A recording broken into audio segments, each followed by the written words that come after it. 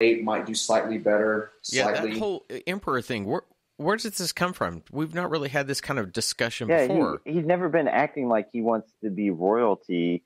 I mean, from, from what we understand, he just wants his people to be free. After that, for all we know, he's going to just fuck off into the world and live, and the apes can take care of themselves. Well, and what, I guess this will come up really more t- tomorrow. Tomorrow's minute than today, but we're starting to dance into this idea that this city is not isolated; that there are other Right. things out there, yeah. uh, which we haven't We've been got- wondering about. Yeah. which we didn't know anything about. We're just kind of like, okay, so now we've got to this particular right, and this message is now going to move other places. It's going to build and become bigger.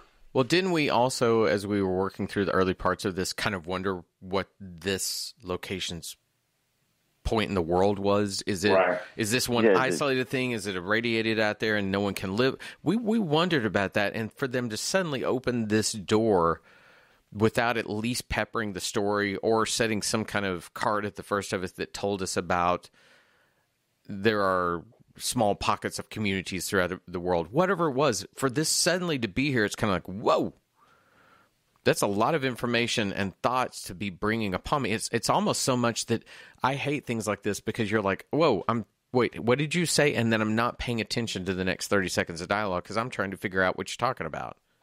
Ah, Yeah, yeah. The the the the, um, the, the conversation back and forth with Caesar MacDonald, I like.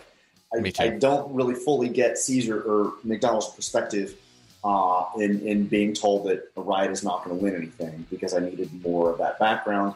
And then we get into the Emperor Moth thing. I'm like, I don't know what's going on. I don't know what that's Yeah. supposed to mean. I don't understand. I don't either. All right, I think that's it for this one.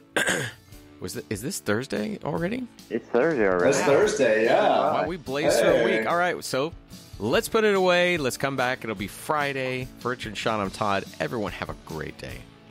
Bye. Bye, everybody.